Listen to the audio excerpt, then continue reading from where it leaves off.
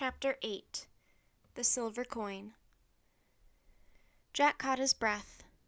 Emperor Aurelius was their guy! He couldn't believe it. No, not lost, said Annie, smiling. We were just in the wrong place at the wrong time. The armory, explained Jack. So I hear, said the Emperor. When I first met you, I thought you must live nearby, in Carnuntum. But now, I do not think that is so. Where is your home? Frog Creek, Pennsylvania, said Annie. Beyond the Danube, said Jack. Where are your horses? the Emperor asked. We left them uh, on the other side of the river, said Jack. Yes, we walked across the ice, said Annie. But we're definitely not invaders or spies, said Jack quickly. I promise. We wanted to learn about the Roman legion just for our own sake. I believe you, said the Emperor. When I spoke with you on my ride, I knew you were honest and trustworthy. Do you ride every morning alone? asked Annie. When I can, said the Emperor. I like to look closely at the world around me and think my own thoughts. We like to look at the world too, said Annie, and write down our thoughts. And facts, added Jack. We tried to do that today when we wrote in our journals, said Annie. Ah, yes, and what did you write? asked the Emperor. I wrote about the weather, said Annie. I made notes about the Roman gods. I even wrote a poem about two of them. Really, I should very much like to hear it, said the Emperor. Sure, said Annie. She quoted from memory The weapons of Mars are heavy to bear, but the peace of Pax is lighter than air. The Emperor nodded. Lovely, he said. He looked at Jack. I wrote about the flag and the warriors' training, said Jack, and I wrote about making bread and swords. Tell him what you wrote about having a heart attack, Annie said, smiling. Oh, I was a little nervous, said Jack, and I wanted to make my sister laugh. The Emperor nodded. So you both write honestly with poetry and humor, and you study the world closely. We try, said Annie.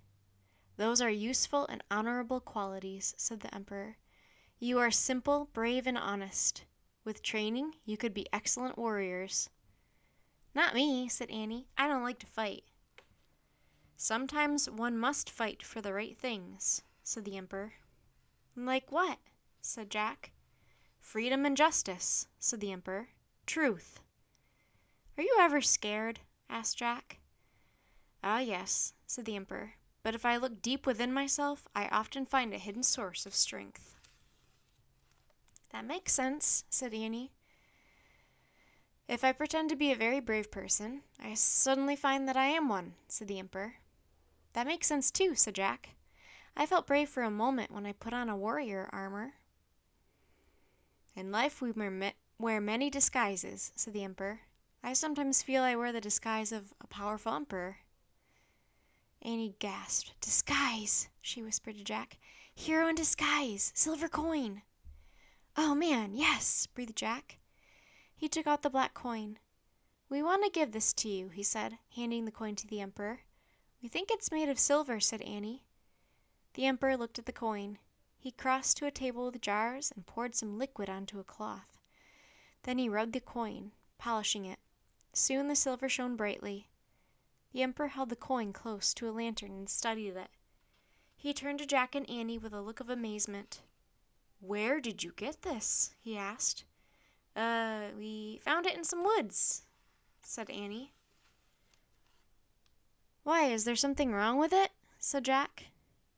This coin is in honor of me, said the Emperor.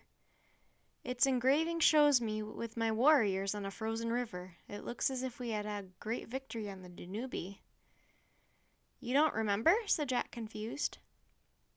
I do not, said the Emperor in a hushed voice, because this battle has not ha- yet happened. Look at the date. He handed the coin to Jack. Jack and Annie studied the Roman numerals. It says 173, said Jack. Indeed it does, said the Emperor. We were now in the year of 172. Oh, said Annie. Well, that doesn't make sense. No, unless. The Emperor looked at Jack and Annie with his golden eagle gaze. It is a coin from the future.